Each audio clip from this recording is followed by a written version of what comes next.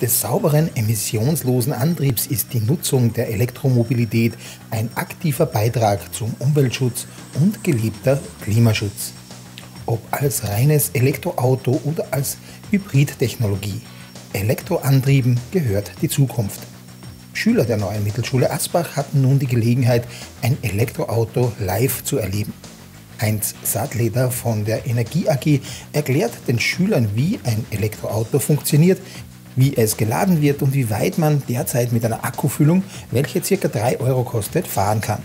Ähm, dass man es über solche Ladestationen lohnen kann und dass eigentlich eh schon relativ viele Ladestationen in Österreich herum sind und dass man gerade 160 Kilometer oder ja, fahren kann mit so ein Elektroauto und das eigentlich 8 Stunden zum Laden braucht.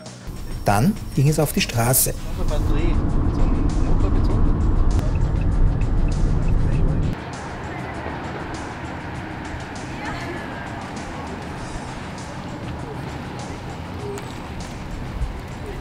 Ja, eigentlich war es recht klasse, weil man, du, du kriegst einfach gar nichts mit, dass du in einem Elektroauto sitzt. Du denkst dir einfach, ja, du sitzt einfach irgendwo und du, du fährst, aber du kriegst es gar nicht mit, dass du in einem Auto sitzt, weil du hörst es ja eigentlich gar nicht. Für mich war es ganz klasse, weil du fährst ja nie so oft, äh, hast selten die Chance, dass du mal mitfahren kannst und war schon recht klasse.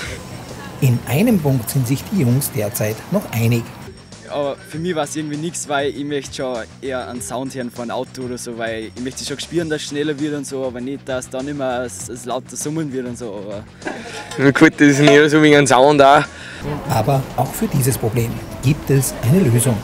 Aber ich hatte eh gesagt, äh, es gibt eh sich eine Lautsprecher, dass es einstellen kannst, äh, welche Auto das jetzt haben möchtest, weil dann ist es schon ein wenig besser. Und irgendwann wird es sicher cool sein, wenn die Autos nur mehr leise summen und keine Schadstoffe durch einen nicht vorhandenen Auspuff jagen. Glaube ich schon.